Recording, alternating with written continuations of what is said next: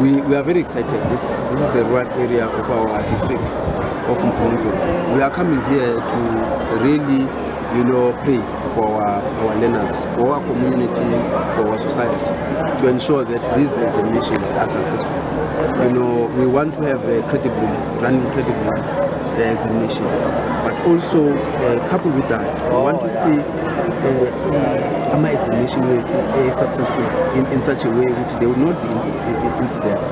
In the recent past, we've seen incidents of instability in schools, and this is spilling even from the community into into into the schools. So we're coming here today, you know, to say this is one of the very important days where we're going to be praying.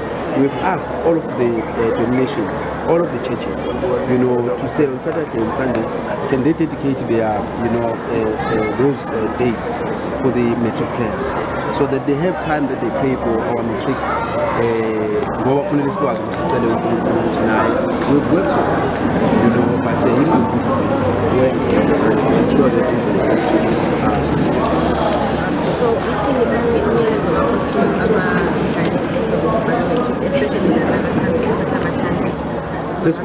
sesikwenzile kakhulu konke. Into yokuqala njengoba sishilo ufuna ukurana credible examination.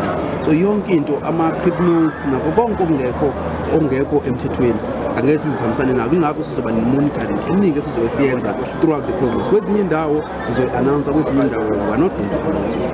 Um so wasaying to ey'nganeni zethu umsebenzi asebewenzile angonwa into encane um ekade bengayiyeka uma njengamanje njengoba sesibhala ama-examination sithi njengoba wonke umsebenzi wokuqala konyaka susisebenza ngokuzimisela nothisi sibambisene nabazali sithi ey'nganeni zethu asifocus manje isikhathi sokuthi kungakhona into eziyi-distractayo kodwa sikhiphe ifocus emsebenzini wazo ukuze ziphase